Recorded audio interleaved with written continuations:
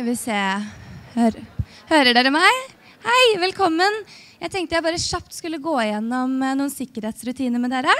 I tilfelle evakuering så har vi nødutganger nederst i salen på venstre og høyre side, indikert med grønne lys. Da vil vi ta dere ned trappen på venstre side, og så vil vi ta resten ned trappen på høyre side. Vi har møtingspunkt på andre siden av hovedutgangen foran teatret. Vi kommer jo inn med gule vester, så dere ville se hvem det er dere skal følge etter. Eh, toalettene er for øvrig også på venstre side, og så har vi et par stykker på høyre side ned i gangen. Så da får dere ha en flott konferanse. Takk for oppmerksomheten.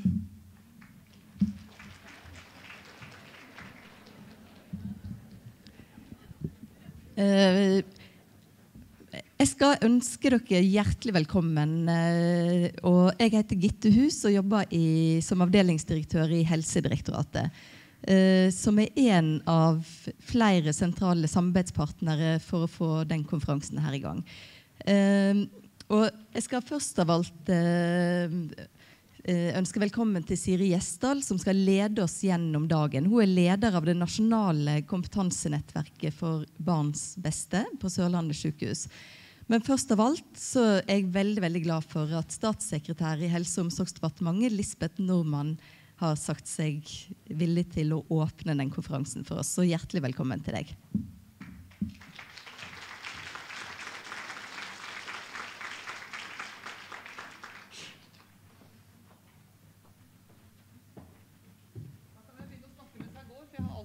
Dette er jo skummelt med så mange flinke folk, men så bra. Det var utrolig enkelt å si ja. Det ville vært helt umulig å si nei. Da vet jeg ikke hva som skulle vært grunnen til det. altså At ikke vi skulle komme og åpne denne konferansen. 500 stykker som er påmeldt, og venteliste. Vi spør voksne pasienter. Voksne pasienter, hva er viktig for deg? Jeg tror at vi kanskje ikke spør barn som pårørende ofte nok. Hva er viktig for deg? Dere vet det jo helt sikkert. Tenker jeg kanskje også. Det er min litt sånn personlig betraktning. Er det hierarki i sykdommer som styrer hvordan barna som pårørende blir ivaretatt? Er det mer tilbud til barn av kreftsyke foreldre enn det er til barn med foreldre som har rusavhengighet? Vi størst, har, vi, har vi stor nok oppmerksomhet på barn som har søsken som er syke? Jeg tror vi er på god vei, men jeg tror det er et godt stykke igjen. Gratulerer med et veldig godt samarbeid om dette. Det er ekstremt viktig tema å sette på dagsorden barn som pårørende. For et veldig flott program. Gratulerer med det også. Jeg skulle gjerne vært her og, Det sier politikere alltid. Jeg skulle gjerne vært her og hørt alt. Jeg skulle gjerne vært her og hørt alt. Så er det jo sånn at eh, ofte blir det ikke som man ønsker seg. Det er mange barn og unge som opplever at mor eller far blir syke. Heldigvis så er de færreste av dem pårørende hele livet. Men mange av oss, både unge og eldre, vil oppleve en eller flere ganger i livet å være pårørende til alvorlig syke, pårørende til mennesker med psykiske helseutfordringer og eller rusproblemer. Mange greier å håndtere det. Men for andre kan belastningen bli for stor ved å være pårørende og for krevende. Dere får jo høre om det i dag. Dere får jo presentert liksom, det beste om barn og unges erfaringer, som er det aller viktigste, om utfordringene og også om mestringsstrategiene. Det er et omfattende forskningsprosjekt som blir presentert. Studien har pågått over lang tid og rommer et stort og rikt datamateriale som sikkert kan gjenbrukes i mange sammenhenger. Det er viktig. Det er bra, og det er viktig fordi det gir økt innsikt. Det gir kompetanse, og det gir generell oppmerksomhet rundt et viktig tema. Om to dager skal vi legge fram Demensplan 2020. Det lærte vi også noe viktig av, nemlig generell oppmerksomhet om et tema som gjør at flere er vare på ting som kan utvikle seg over tid. Det må være det samme her. At det blir generelt økt oppmerksomhet om et tema i samfunnet. Så vil jeg gi en anerkjennelse til forskerne som gjennom studien har gitt ny kunnskap til Barns Beste-direktoratet, som sammen med Ahus og andre arrangerer denne konferansen. Jeg skal si det her da, jeg syns det er litt rart at ikke KS er med. Folk bor og lever i kommunen. Så det får være en oppfordring til dere i direktoratet som har fagansvaret. Det er også å invitere med KS i det gode fellesskapet. så er det veldig viktig for oss i Politisk lesedepartementet, selvfølgelig, for det gir oss en mulighet til å understreke at barn og unges helse, barn og unges situasjon, er veldig viktig. Og den innsatsen er ganske tydelig tror jeg, i politikken nå. Det har høy prioritet. Vi har mange tiltak på området som også kommer barn og unge som pårørende til gode. Og vi har veldig godt samarbeid med andre departement som har et stort ansvar i dette feltet, f.eks. Barne- og likestillingsdepartementet. Så er nok utfordringa, og kanskje det er viktig fra en sånn konferanse som dette, at dere kommer tilbake igjen til politikerne også med konkrete forslag. Fordi det er veldig lett å gå seg vill i gode ideer. Så de konkrete tingene er veldig viktige. Så er Bakgrunnen for undersøkelsen som blir presentert i dag enkel. Vi har for lite kunnskap om forekomst. Vi har for lite kunnskap om hvilke utfordringer barn og unge møter i pårørenderollen. Hvordan det oppleves, og hvordan de mestrer. Når barn opplever at foreldre blir syke, så blir jo rollen snudd på hodet. Fra å være barn som skal få omsorg, som skal få trygghet fra foreldrene, er det opplagt at mange barn i pårørenderollen bærer de voksnes bekymringer i tillegg til sine egne. Og ansvaret også på skuldre som kanskje er altfor spede for et sånt stort ansvar. Og de har sine egne tanker, som de kanskje går veldig mye alene med. Eller ikke kanskje, det gjør de jo. Konsekvensen er jo at veldig mange møter utfordringer som de ikke er i stand til å håndtere på egen hånd, eller ikke bør håndtere på egen hånd. Ikke bare pga. alderen, men fordi det er en ekstremt krevende rolle å være i. Uavhengig av alderen, men ekstra vanskelig når du er barn og skal være i en omsorgsmottaksposisjon. eh. Så vet jo dere at barn som pårørende ikke er en ensarta gruppe, men enkeltindivider som opplever verden og livet i familien helt forskjellig. Noen klarer seg godt, kanskje særlig de som har god støtte av andre i familien, av venner, av skole og fagfolk. Og andre er i mye skjørere familiekonstellasjoner, som i utgangspunktet gjør at kanskje deres måte å mestre livet på er vanskeligere eller forutsetninger enn for andre. Så vet vi, og dere vet det veldig godt, at eh, barndommens opplevelser preger voksenlivet, og at mange barn som har et tungt ansvar for syke foreldre, opplever en oppvekst preget av usikkerhet. Det gjør at det er avgjørende viktig å fange opp barn som strever i en vanskelig rolle, så tidlig som mulig. Vi må erkjenne at det har tatt altfor lang tid før barn som pårørende kom på den politiske dagsordenen. Det har tatt for lang tid før vi forsto alvoret og viktigheten av å ha større oppmerksomhet på barna. Så må vi huske også at mange av disse oppdager vi ikke i det hele tatt. Noen sykdommer og helseutfordringer er fortsatt skambelagt. Ofte er de skambelagte sykdommene også i kombinasjon med å ha både kanskje svak økonomi og andre vanskelige forhold i en familie som gjør at det holdes innenfor husets fire vegger. Det får jo konsekvenser for disse barna på en helt annen måte enn for andre som kanskje har sterkere familierelasjoner å støtte seg på.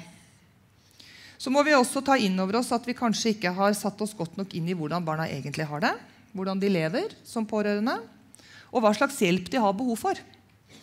Og Det er jo grunnen til at vi de siste årene har arbeida med tiltak for å bedre barnas situasjon møte dem på en bedre måte, mer målrettet.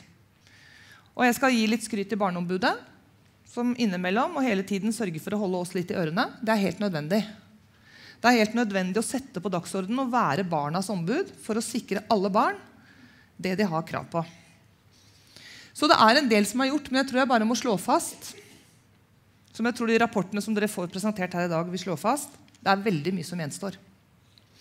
Litt om noen tiltak som dere kjenner godt. Dere vet jo, men jeg nevner allikevel helsepersonellets plikt til å bidra til at mindreårige barn som pårørende er en hjemla plikt i helsepersonelloven. Veldig mange er kjent med lovverket, men når Barneombudets rapport kom i år om tvang i barnevernet, så får helse- og omsorgstjenestens vi litt kritikk for at vi har et lovverk på mange områder som heller ikke er tilpassa barna. Så det å ha kunnskap om og kjennskap til pliktene som er hjemla i lovverket, er fortsatt viktig. Så kommer det å oppdage før det, komme, før det kommer begrepet 'å hjelpe'. Og det fordrer faglig kompetanse, innsikt og erfaring. Og For noen dager siden var jeg i, på Notodden snakka til, eh, til folk som jobba med barn i barnevernet, i psykisk helsevern, i skole og sa at det er viktig for meg å understreke at denne regjeringen satser på økt kompetanse i tjenestene. Vi har gjort en tydelig prioritering. Vi har sagt at disse tjenestene fordrer folk med høy kompetanse mer enn i dag. Det betyr at det å både kunne oppdage og hjelpe disse barna, det er ikke for hvem som helst å holde på med. Så vi håper at vårt kompetanseløft også skal gi større mulighet til å få flere med universitets- og høyskoleutdanning og fagutdanning generelt i en sektor som trenger det. Det er klart det er forskjell på spesialisthelsetjenesten og kommunene. Det er skjørere faglig miljø i kommunen enn det er i spesialisthelsetjenesten. Desto viktigere å satse på. Så ble det fra 1.1.2010 vedtatt endringer i helsepersonelloven og lov om spesialisthelsetjeneste for å sikre at helsepersonell skal identifisere og ivareta barnas informasjonsbehov og behov for oppfølging. Og Det er særlig selvfølgelig også knytta til denne gruppa her, mindreårige barn som er pårørende. Og I det ligger det at helsepersonell har ansvar for å vurdere om barn av alvorlig somatisk eller psykisk syke foreldre eller foreldre med rusproblemer har et selvstendig behov for å få hjelp i den livssituasjonen de befinner seg i, som er hvor årsaken er foreldrenes sykdom eller lidelse. Og Dette er en plikt for helsepersonell å følge opp. og det er dere kjent med, det er jeg helt sikker på. Det er viktig og formål med bestemmelser som gjelder for helsepersonell i spesialisthelsetjenesten, kommunehelsetjenesten og private helsetjeneste, er å sikre at barna blir fanget opp så tidlig som mulig, og at det blir satt i gang prosesser som setter barn og foreldre bedre i stand til å mestre situasjonen når en er alvorlig syk. Altså oppdage og sette i verk tiltak. Så enkelt kan det sies. Og også ha fokus på å forebygge. For det er ikke bare primærforebygging vi holder på med. Vi holder også på med forebygging som gjør at de plagene man har, ikke blir verre. Og Da jeg gikk på sykepleierskolen for 100 000 år siden, så het det sekundærforebygging. Nå er det, eh, kniver man om hva de begrepene er, men det er ikke så viktig. Det er forebygging for at ting ikke skal bli verre. Så alle helseinstitusjoner er omfattet av loven, skal også ha barneansvarlig personell. Og det er jo gledelig at i spesialisthelsetjenesten melder alle helseforetak at de har det personalet på plass. Det er det grunn til å juble over. Klapp, klapp. For å sikre at bestemmelsen er kjent, så ga Helsedirektoratet ut et rundskriv i 2010 som retter seg mot helsepersonell som arbeider med barn. Og De har starta et arbeid også i 2014 med en veileder. Og det er viktig, for det, det, dette er som statens utstrakte faglige hånd til miljøene. Hjelpe til med å ha en nasjonal praksis som er helhetlig. Sånn at det ikke skal være variasjon avhengig av hvor du bor, men at det er nasjonale standarder som skal sikre kvalitet. Så har vi faglige retningslinjer som også gir anbefalinger som er relevante for barn som er pårørende. Og Det kan dreie seg, om, dreie seg om å tydeliggjøre oppmerksomheten rundt barn som pårørende, pliktene helsepersonellet har, at man skal ha barneansvarlige fagpersoner ved behandlingsenhetene, rutiner overfor barn, hvordan avtaler man, hvordan samtaler man med barna, hvordan trekker man inn andre i familien, og hvordan bør en sånn samtale både gjennomføres og hva bør den inneholde? Og samarbeid med andre, som jo er veldig viktig i dette feltet. Som for andre som lever med helseutfordringer gjennom hele livet. Samarbeid på tvers og mellom enheter, og vi har litt å gå på.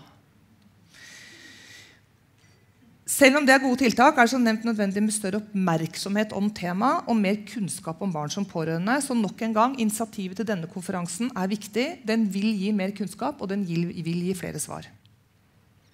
Så er det de kommunale tjenestene. De har et klart ansvar for å sikre at barn som pårørende til personer med rusproblemer får den hjelpen de har krav på. Og jeg må stille litt spørsmålet hvor er kommunen i det perspektivet? Fortsatt er det 400, og nå tror jeg det er 27. Det burde jo vært færre. Sånn at man kunne bygge opp miljøer som gjør det mulig å rekruttere og beholde personell i kommunen som skal ivareta folk der de bor. For spesialisthelsetjenesten er man også veldig kort. Og som min kollega Anne Grete Erlandsen pleier å si, det er ikke bra å være der for lenge, for det er i kommunen du skal bo. Så vi har en felles utfordring å bygge opp robuste kompetansemiljøer i primærhelsetjenesten. Jobbe mer i team, mindre i silo. Og Det legger vi opp til nå i den nye meldinga som vi har levert til Stortinget, som det er bred enighet om, om primærhelsetjenesten, som heter Nærhet og helhet. Der har vi spurt barn og unge hva de syns er viktig. Og vi må jo være klar over at Mange av de barna unge vi spør, har kanskje vært i en pårørenderolle som gjør at de har helseutfordringer med seg videre. Og dere skal vel få høre om det her også. Og Da sier det jo noe om at tjenesten er ikke helhetlig, tjenesten er ikke koordinert, og folk snakker ikke godt nok sammen. Og det er ikke tilgjengelig for oss. Så det må vi ta på alvor. Selv om vi har en fantastisk helsesøstertjeneste, så sitter vi fortsatt for mye i siloer og for lite i flerfaglige team i kommunen. Så har regjeringen i opptrappingsplanen for rusfeltet lagt fram et veldig tydelig budskap om at foreldre som har rusproblemer og ikke kan gi god nok omsorg, som hovedregel ikke skal ha omsorg for barn. Det er et tydelig politisk beslutning. Barnevernstjenesten skal i hvert enkelt tilfelle foreta vurdering om omsorgen er forsvarlig, om det bør settes inn hjelpetiltak, eller om det er nødvendig at noen andre har omsorgen for barna for å sikre dem et godt liv.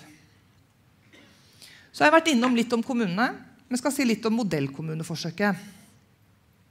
Modellkommuneforsøket som ble starta lenge siden nå, 2006, var hensikten å prøve ut ulike tiltak for å styrke kompetansen og utvikle gode verktøy for barn av foreldre med rus og eller psykiske helseutfordringer.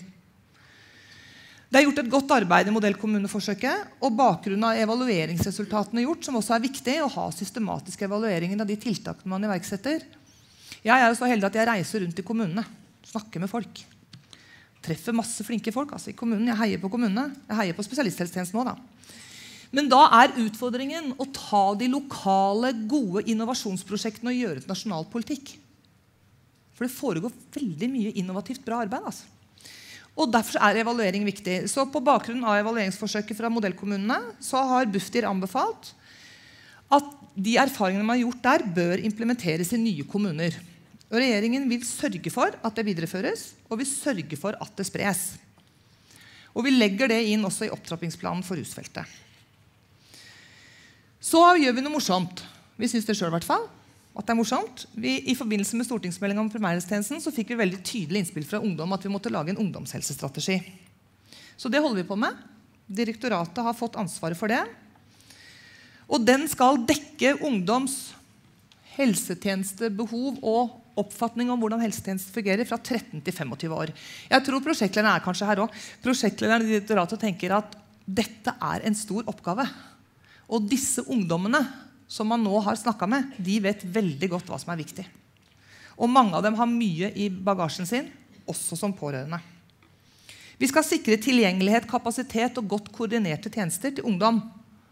Og også se på hvordan kan man liksom modernisere måten å kommunisere på. Nettbaserte tjenester, f.eks. Som ungdom og gamle er i stand til å nyttiggjøre seg. Så den Strategien skal også omfatte problemstillinger knytta til psykisk helse, ensomhet, mobbing, frafall i videregående skole, som er en stor utfordring, og som vi tenker i Helse- og omsorgsdepartementet også at vi har et ansvar for å sørge for at blir mindre. Fordi vi vet at det å komme gjennom videregående for alle er avgjørende viktig for mulighetene seinere i livet, og for ikke å falle utenfor samfunnet.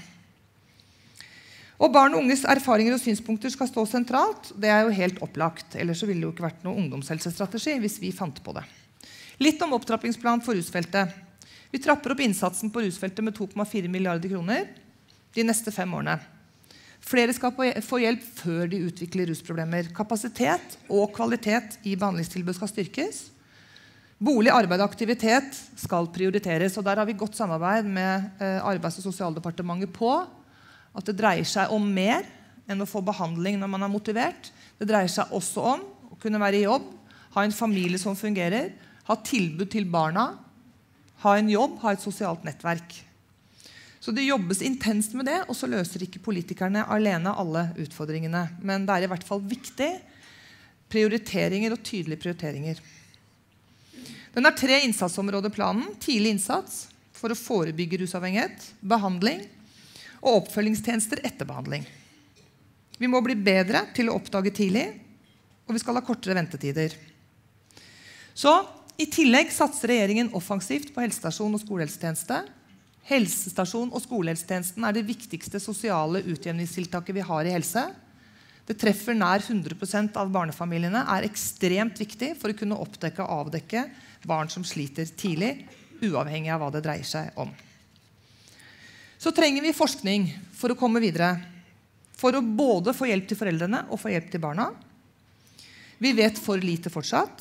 Vi vet ikke nok om hvilke problemer barna sliter med. Og det er med veldig stor spenning vi ser frem til forskningsresultatene som skal legges frem, og se på også denne store multisenterstudien om barn som pårørende, og hva slags tiltak som kan iverksettes ut fra den. Så avslutningsvis. FNs barnekonvensjon slår fast at barn har rett til å utvikle seg, rett til å bli sett, rett til å bli hørt, og sist, men ikke minst, rett til å uttrykke egne ønsker. I forbindelse med tiltaksplanen som regjeringen har for å bekjempe vold og seksuelle overgrep mot barn, så var det også veldig viktig budskap fra ungdommene som var til stede. De voksne må spørre om hvordan vi har det. Så jeg skal avrunde og til slutt si at dere har valgt en treffende tittel. Se meg. Det er fordi barn med syke foreldre skal føle seg ivaretatt, sett og hørt. De er eksperter på egne liv.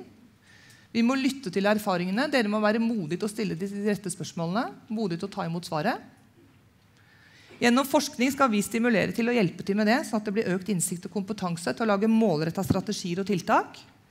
Og temaet settes generelt på dagsorden. Så tror Jeg også at jeg har skrevet liksom som stikkord til meg selv litt sånn nabokjerring. Jeg tror det er viktig at folk interesserer seg i andres liv. Vi kan ikke overlate alt til fagmiljøene. Dere har erfaring, dere vet helt sikkert at folk har visst om barn som sliter. Ingen har tatt opp, verken naboer, barnehage eller andre. Vi har visst det ganske tidlig.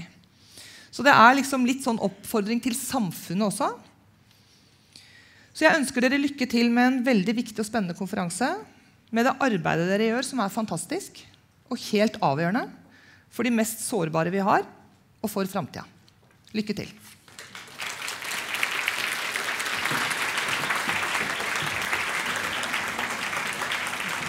Takk, Lisbeth Normann, for tydelig tale og en veldig god start på dagen. Da eh, har jeg den glede å ønske velkommen til Ellen Jorunn Bergem, som skal ta oss med i et kulturinnslag før vi går over til eh, resten av de faglige innspillene.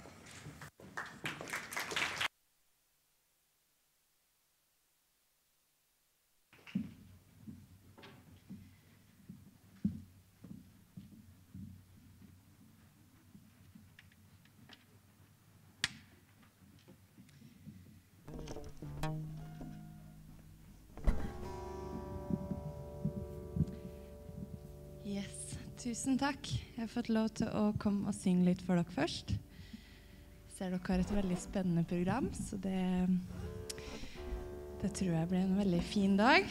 Eh, så skal jeg prøve å sette litt sånn stemninga.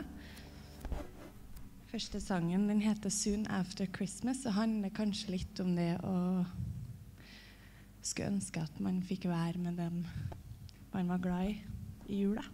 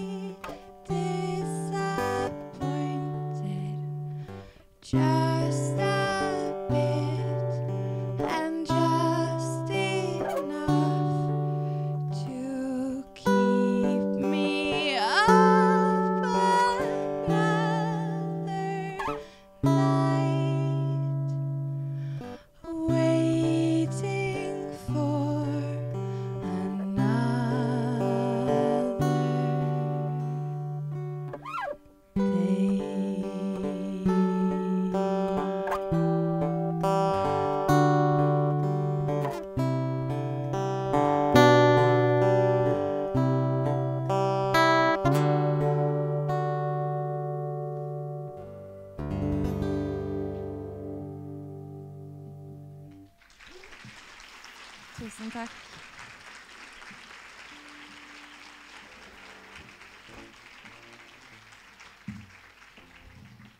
Jeg skal avslutte med en én sang til før dere får fortsette med programmet. Den er kanskje noen som har hørt.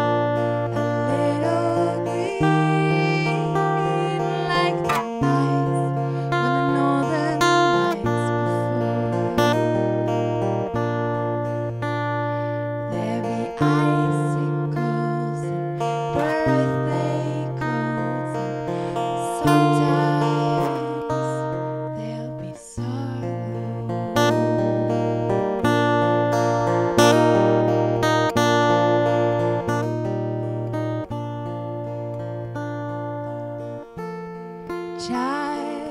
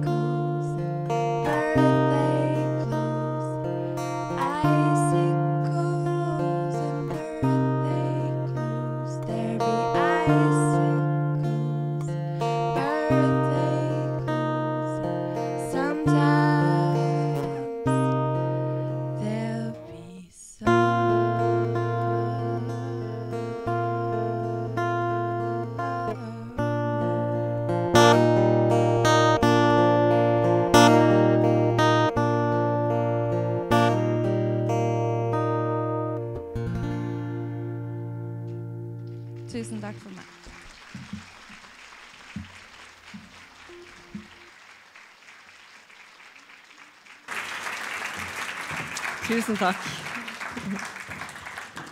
Ja, du klarte iallfall å sette meg i stemning, og det regner med dere fikk også en god stemning. Jeg har lyst til å starte dagen med å si gratulerer med dagen. Dette er en stor dag.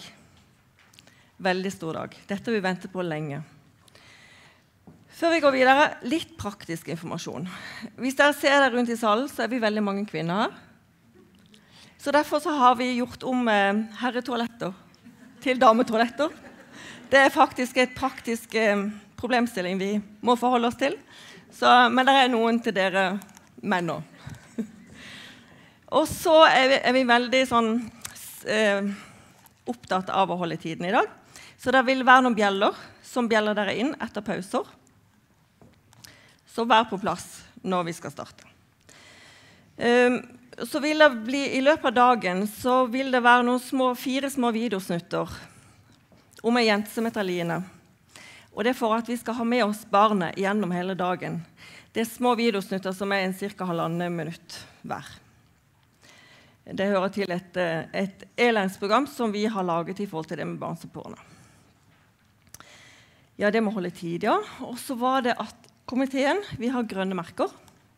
Foredragsholderne har blå. Sånn at hvis dere ønsker å snakke med en av oss eller har en problemstilling, så vær så god. Før jeg introduserer neste, så vil jeg bare si at i mars 2010 så etablerte Barns Beste et forskernettverk. Og det var fordi at eh, vi tenkte at vi må øke forskningen på barn som pårørende. Og vi var ikke de første som sa det, men vi startet det forskernettverket. En av de som har sagt det veldig lenge, sitter bak i salen. Frid Hansen har sagt det lenge før vi startet vårt forskernettverk, men vi startet det da. Og på det første samlingen vi hadde der, så var det en gjeng som sa vi må jo finne ut om denne loven, om den virker han. Får vi det resultatet vi ønsker? Blir den implementert? Og det var starten på multisenterstudien. Og jeg er veldig glad for, og stolt for å få lov å introdusere Torleif Ruud. Velkommen. Da er ordet ditt.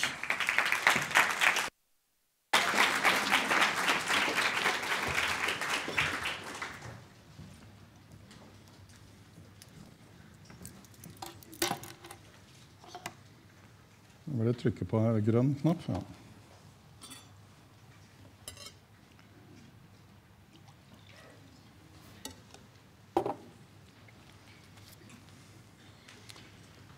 Ja, vi er glad for å ha denne anledningen til å legge fram for dere resultater fra multisenterstudien som vi nå har holdt på med i snart fem år siden vi begynte å planlegge. Og når jeg sier vi, så mener jeg prosjektgruppa som har vært med. Og mange av dere vil dere møte i løpet av dagen ved at de har innlegg. Både prosjektgruppemedarbeidere, lokale koordinatorer og stipendiater. Det jeg skal eh, si i dette første innlegget, er litt om hva vi har gjort, hvordan vi har gjennomført undersøkelsen, Og eh, hvor mange vi, familier vi har hatt kontakt med.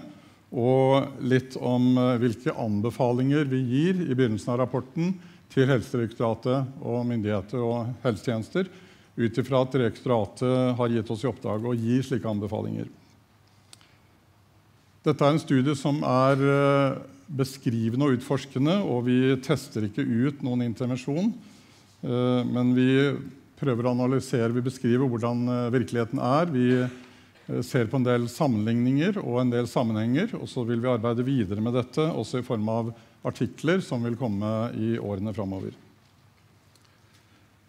Jeg vil også, før jeg skifter til neste bilde, takke Amalie Heldal i Bodø for at vi har fått bruke hennes tegning som hun laget ti år gammel, og som vi syns er et fint uttrykk eh, for å er med og gir prosjektet eh, en eh, fokus på barn som pårørende, på vegne av barn som pårørende. Så dere har sett at den tegningen også brukes i denne konferansen og på et par av rapportene. Det er altså Amalie som har lagd den. Prosjektet, eller Datainnsamlingen er gjennomført i eh, fem deler av landet, som til sammen dekker omtrent en tredjedel av eh, innbyggertallet. Nordlandssykehuset, Stavanger universitetssykehus med Rogaland A-senter, Sørlandet sykehus, Vestre og Akershus universitetssykehus, som er ansvarlig for studien. Og så har RBUP øst og sør vært med i prosjektet og har etablert og driftet en eh, omfattende elektronisk database. Så de har gjort en stor innsats på det, og Barns Beste har vært med i prosjektet med sin kompetanse. Det er eh, mange som har bidratt, og som vi vil takke.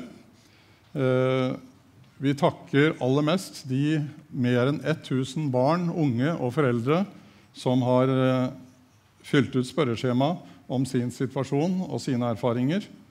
Og vi håper at studien og resultatene vil bidra til at nettopp barn, unge og foreldre i møte med sykdom og utfordringer får best mulig hjelp og støtte. Det er også 400 behandlere og lærere som har gitt opplysninger om disse familiene og barna. Og det er eh, nesten 300 ledere, barneansvarlige og helsepersonell som har gitt informasjon om implementering av lovverket sine, på sine arbeidssteder. Så det er nedlagt et betydelig arbeid av veldig mange personer. Og jeg vil også nevne de mange medarbeiderne som vi har eh, hatt eh, rundt i de forskjellige helseforetakene. De som har vært med på datainnsamlingen, er listet opp i vedlegget i rapporten. Men det er også en del andre som har bidratt med praktisk arbeid og merkantilt arbeid og annet som en del av dette. Bakgrunnen for eh, studien det er for så vidt nevnt allerede i dag. Både behovet for mer kunnskap om hvordan barn og som pårørende og deres foreldre har det, og den situasjonen de opplever, men også om spesialisthelsetjenesten, som vi da ser på, har eh, praktisert denne lovendringen som kom i 2010, med å kartlegge og følge opp barn som pårørende. Så vi har eh, noen hovedtema vi vil, dele med dere i dag, og som står i rapporten. Det er om barnas og foreldrenes situasjon og erfaringer. Det er om hvem de har fått hjelp fra, og hvordan de har opplevd den hjelpen eller mangel på hjelp. Det er om forskjeller mellom pasientgrupper eller deler av spesialisthelsetjenesten som vi har tatt med, nemlig somatikk, psykisk helsevern og tverrfaglig spesialisert rusbehandling. Og det er om helseforetakenes implementering av lovendringene som kom for fem år siden. Vi hadde planlagt å få med 60 familier på hvert sted fra hver av disse tre pasientgruppene eller delene av tjenestene. Eh, og eh, slik at vi fikk da 300 familier innen hver av disse tre gruppene. Og 900 familier til sammen. Det var ambisiøst. Og det viste seg at det var veldig krevende å rekruttere. Eh, Både tidkrevende og mye arbeid. eh, Slik at vi klarte ikke i løpet av den tiden vi hadde til rådighet, og de ressursene vi hadde, å inkludere så mange, så jeg kommer tilbake til det vi faktisk fikk med. Vi ønsket også å ha et mest mulig representativt utvalg for spesialisthelsetjenesten. Ja, vi er veldig klar over at det er også viktig å ha utgangspunkt i kommunene, sånn som vi hørte før i dag av Lisbeth Nordmann. og Også eh, at det er viktig å tenke på andre deler i befolkningen. Det andre undersøkelser som gjør da befolkningsundersøkelser. Men vårt utgangspunkt som er med i dette, var spesialisthelsetjenesten. Og den er blitt pålagt visse ting å gjøre, så det er det vi tok som utgangspunkt. Men vi ønsket da å få en fordeling også av familier ut ifra den fordelingen som er på polikliniske pasienter og døgnpasienter i spesialisthelsetjenesten i løpet av et år, og valgte den fordelingsnøkkelen også innen hver av disse gruppene hvert sted. Vi har med opptil tre informanter fra hver familie. Den som er inngangsporten for oss til familien, er da den syke voksne som er i spesialisthelsetjenesten, eller den som har eh, rusproblemer og er, derfor er i kontakt. Men vi ønsket også å få med den andre foreldre eller voksen hvis det var en annen voksen i familien. Og selvsagt barn eller ungdom. Eh, begge disse foreldrene eller voksne ble da spurt om både hvordan de selv hadde det, men også hvordan de vurderte at barna hadde det, og deres situasjon. Barn over åtte år og ungdom ble da spurt om hvordan deres situasjon var, og deres erfaringer var. Og Det var mye av samme tematikken som ble tatt opp, men litt ulikt selvsagt for de ulike informantene. Men eh, vi, vi, har altså en god del opplysninger hvor vi har eh, flere perspektiver på det. Så har vi to andre informanter som da er behandlere, altså behandlingsansvarlige i spesialisthelsetjenesten for eh, denne pasienten og, og kontakt med familien. Og lærere i ja. Den hadde gått seg vill i skjegget. Håper dere hørte noe likevel. Det har hørt, håper jeg. Så jeg må begynne på nytt. Ja. Eh, lærere eller pedagoger i skole og barnehage ble også spurt om å gi opplysninger dersom foreldrene ga samtykke til det, og dersom vi fikk dem til å gjøre det. Eller de ble jo spurt da, Men det har vært utfordring å få tak i de også.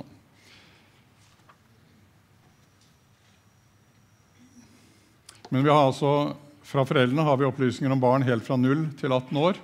Men vi har bare opplysninger eh, fra barn over åtte år og ungdom når det gjelder eh, opplysninger fra barn og ungdom selv, ut ifra at de da må, måtte være litt oppi åra for å kunne fylle ut et spørreskjema. Studien er utformet som en tverrsnittstudie, Dvs. Si at vi møter pasientene og deres familier og barna og ungdommene på et gitt tidspunkt og hører hvordan de har det da. Vi har holdt på med datainnsamling og møtt slike familier da, fra, gjennom det meste av 2013 og hele 2014. Og det er som sagt en beskrivende og utforskende studie. Og Utgangspunktet vårt er som jeg nevnte, i spesialisthelsetjenesten med disse fire delene som vi har valgt ut. Og de er valgt ut fordi de også er nevnt i lovverket.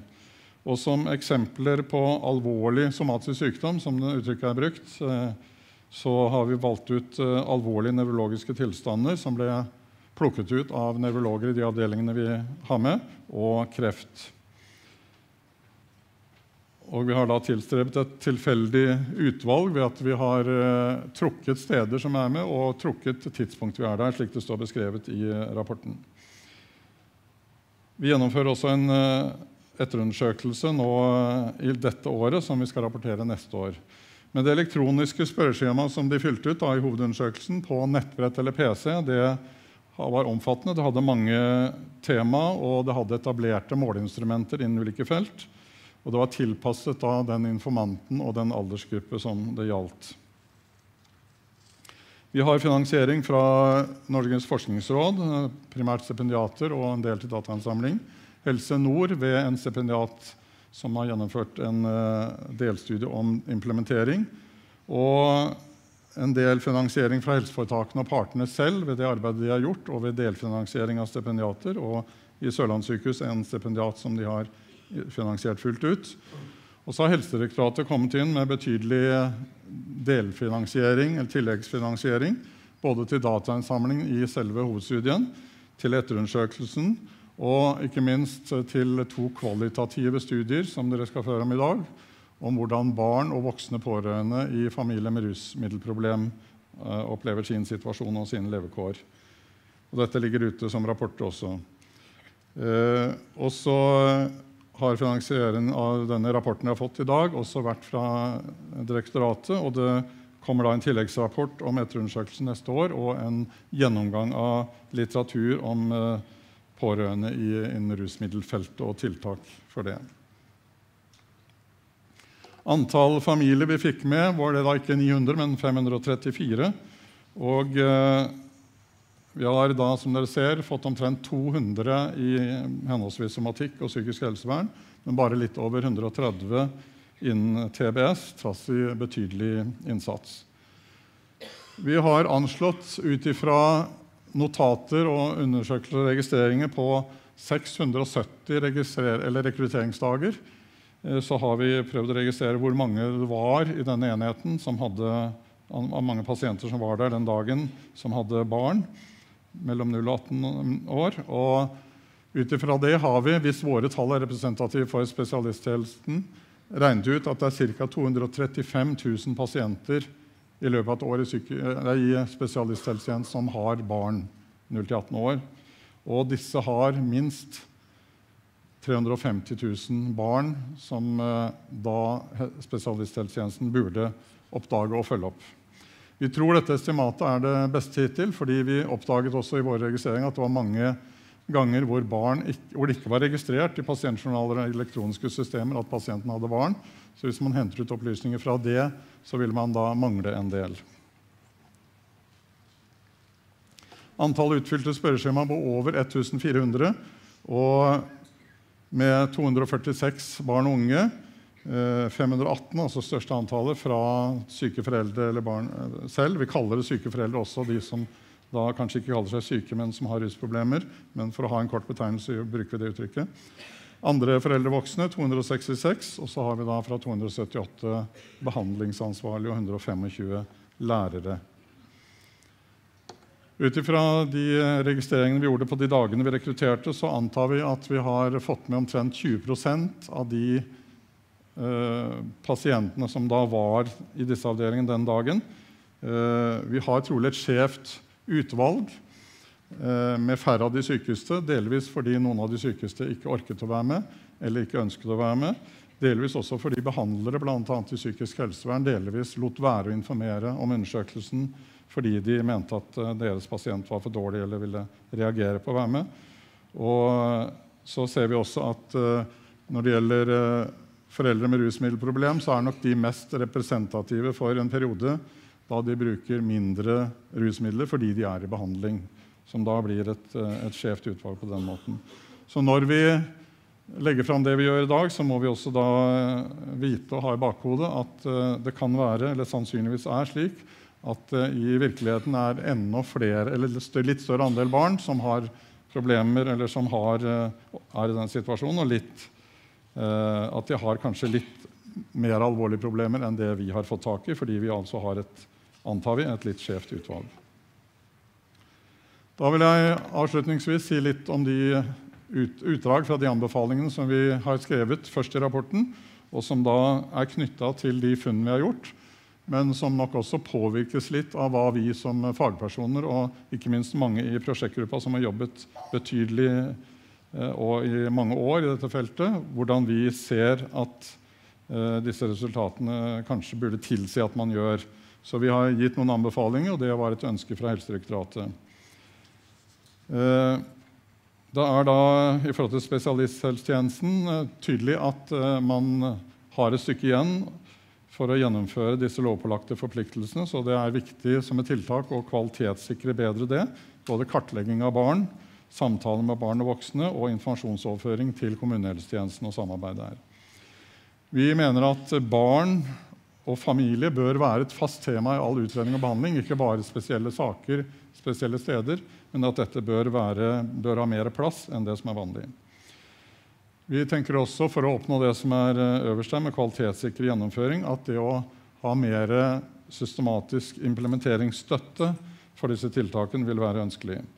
Og vi tenker at å prøve ut rapportering eh, om arbeid med barn og familier, slik man gjør i Sverige, vil være ønskelig for å ikke bare ha rapportering i spesialisthelsetjenesten på hvor mange pasienter man har, men også noe om kvaliteten på det man gjør.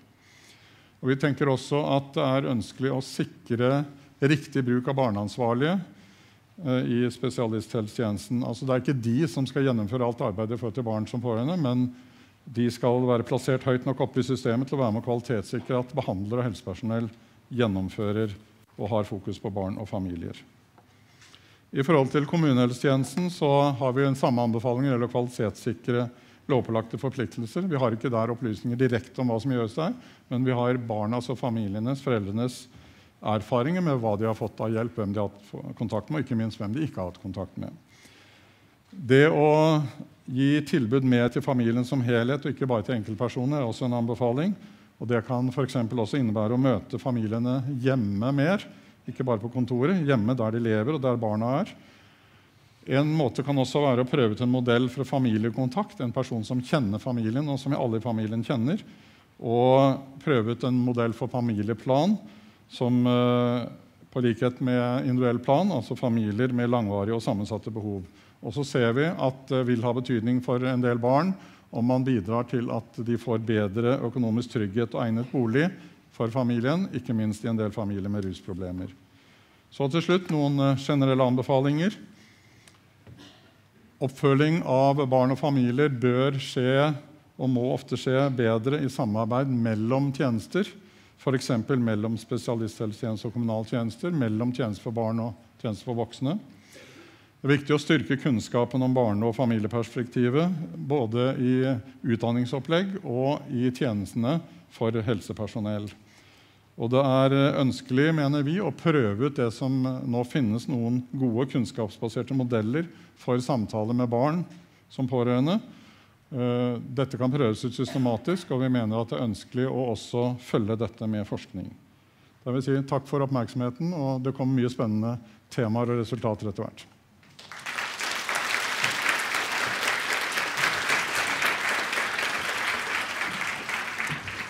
Tusen takk, Torleif Ruud. Veldig bra. Takk, takk. En liten gave til deg fra. Helsedirektoratet. Ja. Da får vi en liten Line-film før jeg introduserer neste.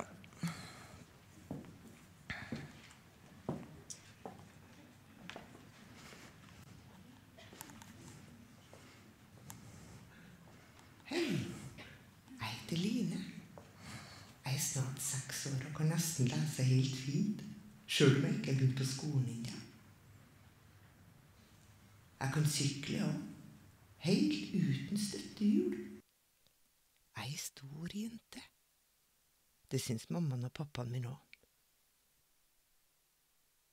Pappa bor ikke sammen med oss lenger, men jeg ser han ganske ofte. Han jobber med olje og sånn, og det er nok derfor han er skitten under neglene. Mamma Jeg er ikke helt sikker, men jeg er ganske sikker på at mamma er ganske syk eller noe. Mamma har ganske mye vondt i kroppen sin.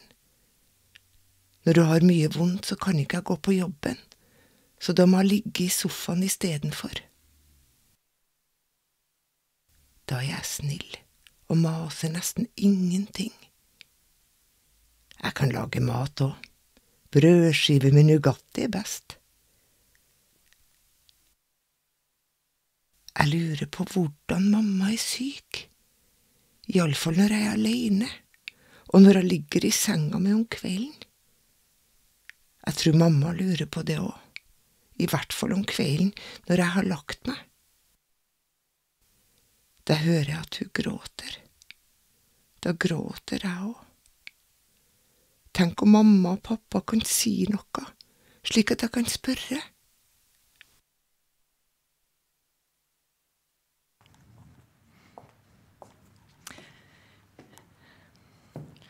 Da har jeg den glede å introdusere neste foredragsholder, forsker Bente Weimann.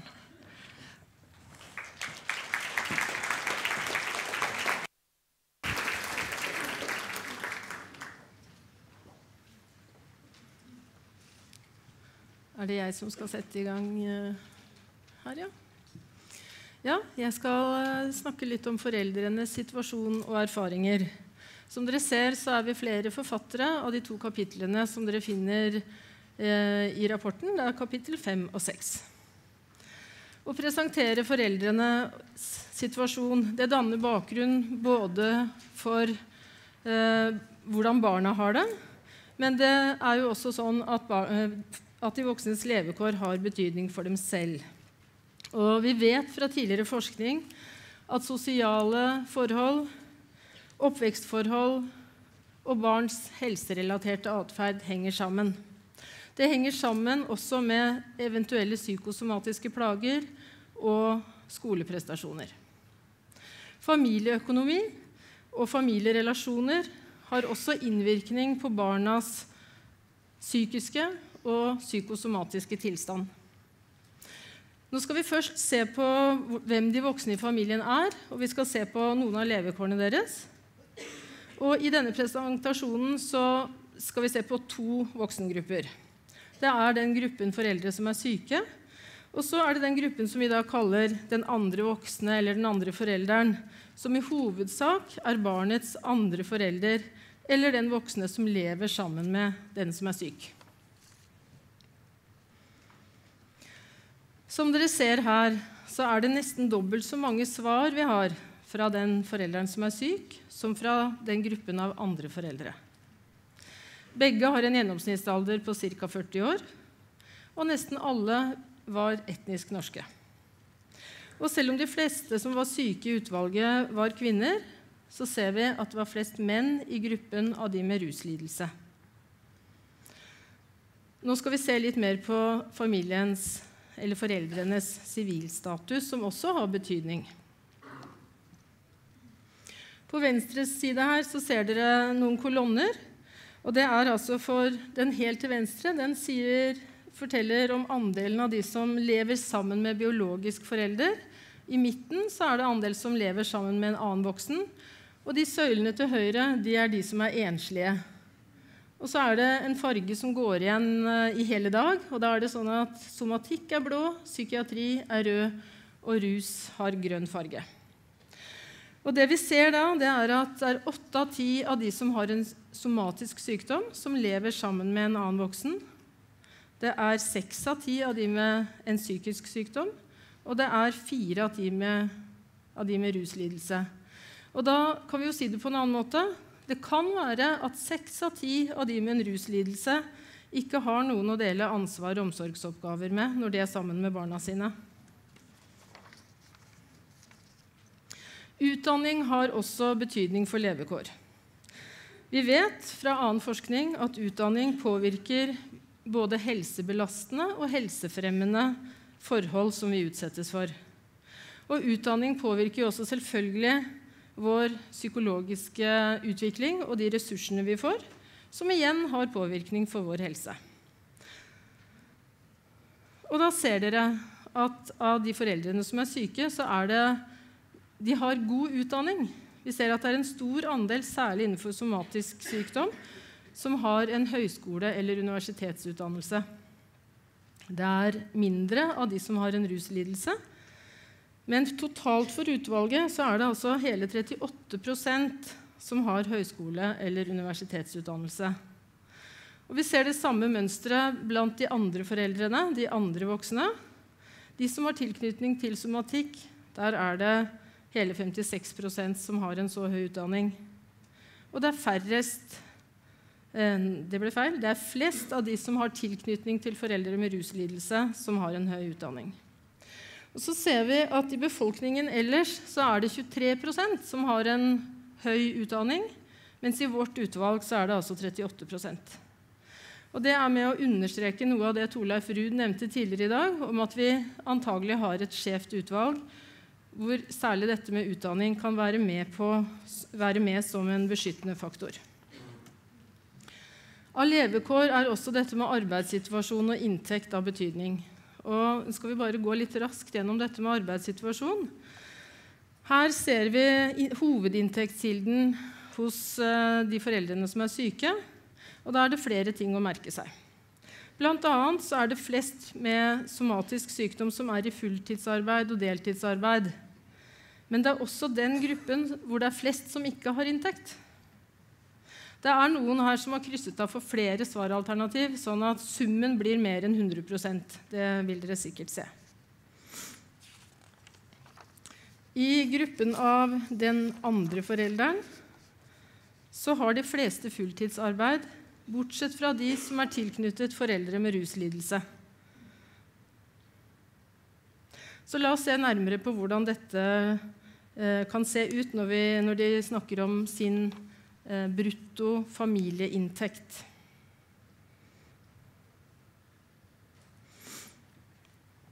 Her ser dere også at det er store forskjeller mellom de tre gruppene. Fra 930 000 i familieinntekt hos de med somatisk sykdom og ned til 384 blant de som har en ruslidelse. Allikevel, når vi ser gruppen så under ett, så kan vi si at de har en ganske normal inntekt. Men det som er viktig å merke seg her, er at av de som har en inntekt under 250 000 som familieinntekt, så er det en tredjedel av de som har en ruslidelse, som har en så lav inntekt. På den andre siden så er det jo flest av de som har en somatisk lidelse, som har inntekt over 1,5 million kroner. Og det er ingen av de som har en ruslidelse. Vi vet fra forskning at trang økonomi har vist sammenheng med psykosomatiske plager hos ungdom. Hvordan er det så med bolig? Bolig og flytting. Det er en fjerdedel av de med ruslidelse som eier sitt eget hus. Det er dobbelt så mange med psykisk lidelse som gjør det, i vårt utvalg. vil jeg merke. Og det er tre ganger så mange av de med somatisk sykdom som eier sitt eget hus. Og så ser vi at av de som ikke eier et eget bosted, og som ikke har et eget sted å bo, så er det 8% nesten én av ti av de med ruslidelse som må bo hos familie eller venner. Dette er også en gruppe som har flytta mest. Vi har spurt hvor mange ganger de har flytta de siste årene, de siste fem årene. Og da er det 16% av foreldrene med ruslidelse som har gjort det.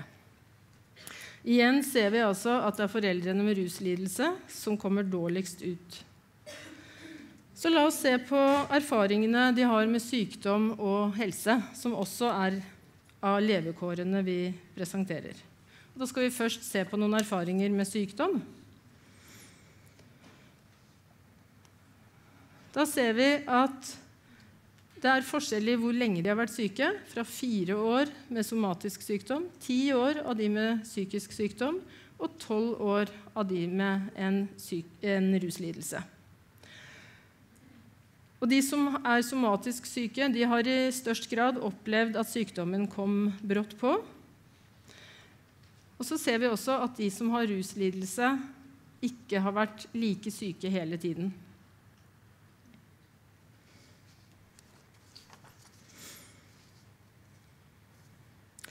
Skal vi se Da håper jeg dere husker den forrige, og jeg skal si litt mer om den.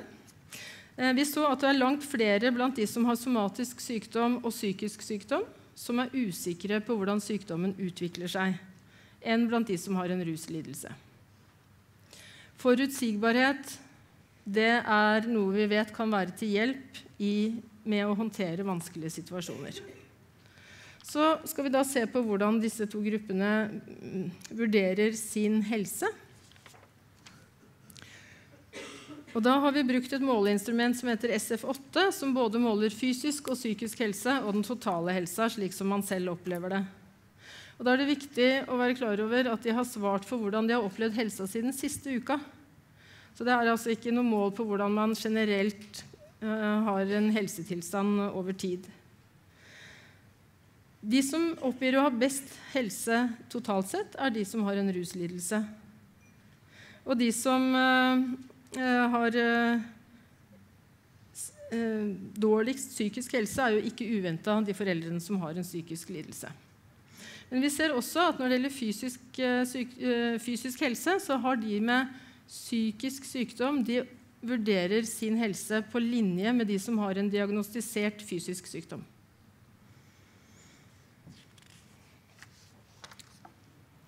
Vi har lyst til å vise litt mer om den andre forelderen også. Vi var spent på hvordan det tok seg ut, men det viste seg altså at det var ingen forskjell i den totale helsa i disse tre gruppene av andre foreldre. Men når det gjelder psykisk symptombelastning, så har vi målt det eh, med et måleinstrument som heter SCL10, og som ser på både angst og depresjon.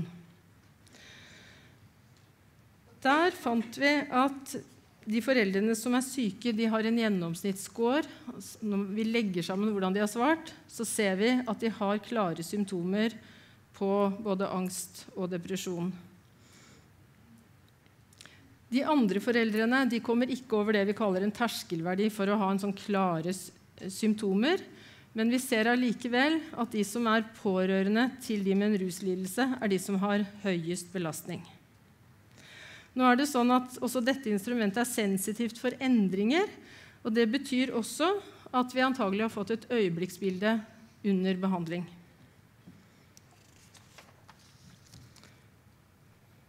Se her, ja. Det er godt at dere er eh, tålmodige og, ser vennlige ut, selv om jeg ikke klarer å trykke. Da lar jeg den stå litt, så kan dere se.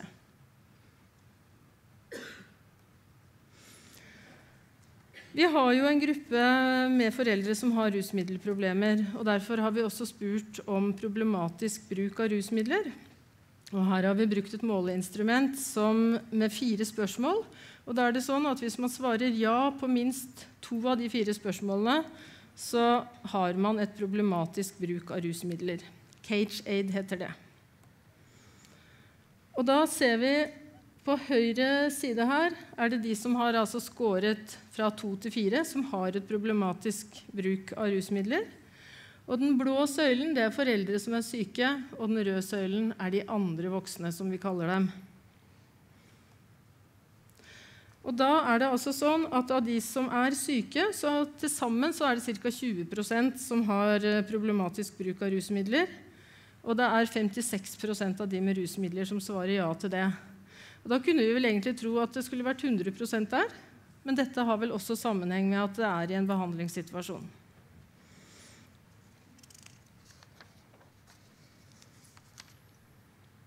Jeg har også lyst til å minne om at dette med rusmidler det får vi vite mer om fordi vi får presentert de to levekårsstudiene senere i dag. Både om hvordan voksne og barn opplever det. Lovbrudd er også nemlig knyttet sterkest til de som har en ruslidelse. Som dere ser her, så er det på venstre side har vi listet opp eh, type lovbrudd blant foreldrene som er syke.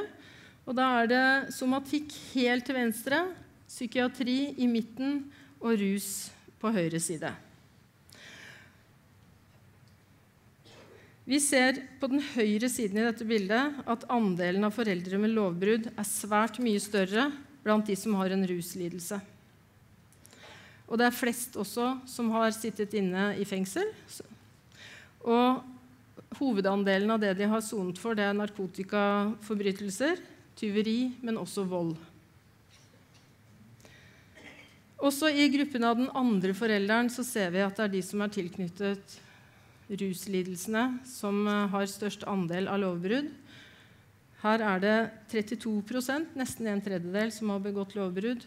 Og 40% av disse igjen har sonet fengselsstraff. Vi tror jo at lovbrudd bl.a. kan si noe om utrygghet i familiesituasjonen. På den annen side så har vi jo familiesamhold og sosial støtte som kan veie opp for noe av de belastningene vi har i familiene våre.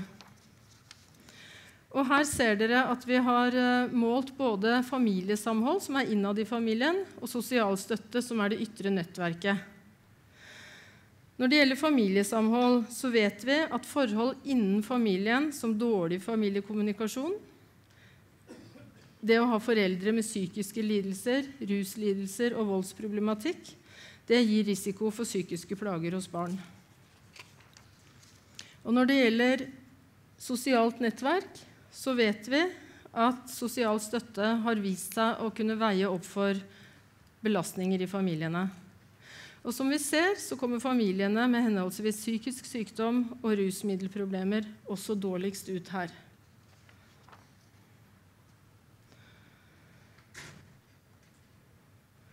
Ut fra dette, hva bør vi være særlig oppmerksomme på? Når det gjelder alle foreldrene, så har vi sett at de er godt utdannet, de har relativt god livskvalitet, de har normale boligforhold, bortsett fra de som har en ruslidelse. Foreldrene med psykisk sykdom har høy psykisk symptombelastning. Det er mindre familiesamhold og sosial støtte. Foreldre med ruslidelse de har lav inntekt, usikre boforhold, de flytter mye. De har flest tilleggslidelser og lengst sykdomserfaringer. Høy psykisk symptombelastning. 60% oppgir å ha problematisk bruk av rusmidler.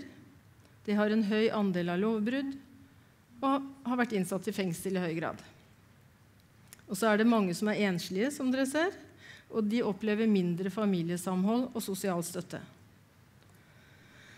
Når det gjelder de andre foreldrene, så ser vi også at det er disse som er knytta til de med ruslidelse, som i høyest grad har høy symptombelastning og relativt høy andel av lovbrudd og fengselsstraff. Vi har jo gjort statistiske beregninger ut fra spørreskjema, men vi har også stilt noen åpne spørsmål hvor foreldrene kan svare selv. Og da har vi gjort en oppsummering av hva de har svart, som også kan være verdt å ha med seg. Begge foreldregruppene, både de friske og de syke, de sier at vi har behov for samtale om sykdom og symptomer. Vi har behov for støtte og avlastning. Vi har behov for hjelp til å snakke med barna våre om sykdommen og om framtiden. Og de forteller om ensomhet og isolasjon. Foreldrene som er syke, de forteller om sorg og skam over ikke å strekke til eller å være en belastning for sine nærmeste. Noen forteller også om økonomiske vansker pga. sykdommen, som kan være en tilleggsbelastning. Og når det gjelder den andre forelderen, så ser vi at de forteller om maktesløshet og usikkerhet om framtiden. De forteller at det er vanskelig å håndtere forventninger fra både arbeidsgivere, fra den som er syk, og fra barna. Og flere forteller også at man kan ha store påkjenninger selv om man ikke lever sammen med den som er syk. Så da har vi sett på noen av de faktorene som har betydning for våre familier. Og i de neste presentasjonene så vil vi få mye tydeligere svar. Takk for oppmerksomheten.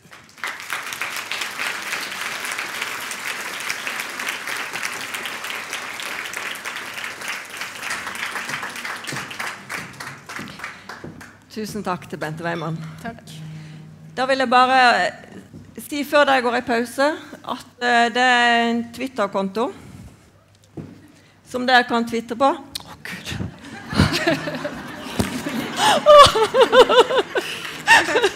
Er det ikke godt? Er det ikke godt?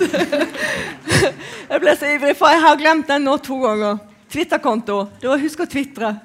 Og så må dere gå i pause. Det er lunsj, ka eh, nei, kaffe, frukt og eh, vann ute her og i ballsalen. Og så kommer vel den bjellen når det skal komme inn igjen.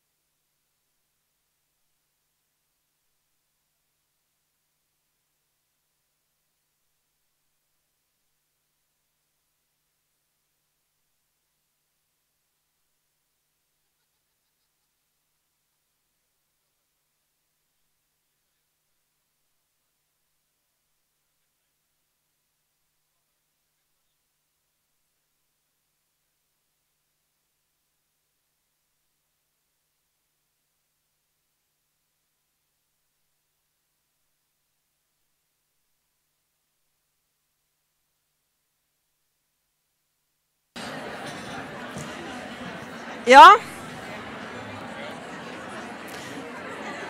Hallo? Nei, jeg vet ikke. Har jeg lyd på nå?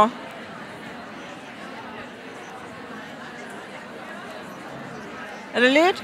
Nei?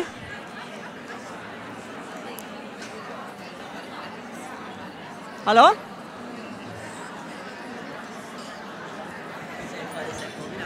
Hæ? Kom og se på den senderen din.